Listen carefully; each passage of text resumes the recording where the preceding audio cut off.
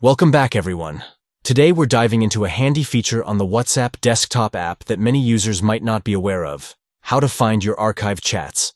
Thanks to a recent update, searching through your archived conversations has never been easier. Let's get started. First, open the WhatsApp application on your PC. Once the app is launched and you're logged in, you'll see your chat list front and center.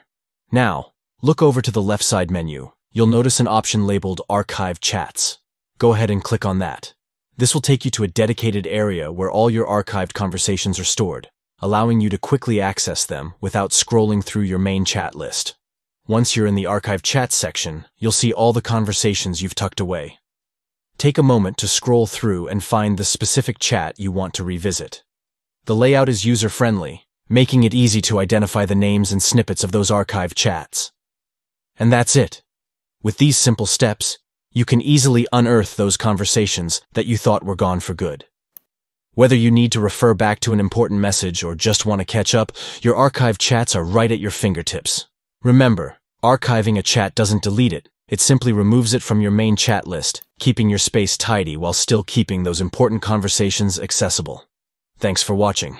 If you found this video helpful, don't forget to like and subscribe for more tips and tricks on using WhatsApp and other apps. Happy chatting.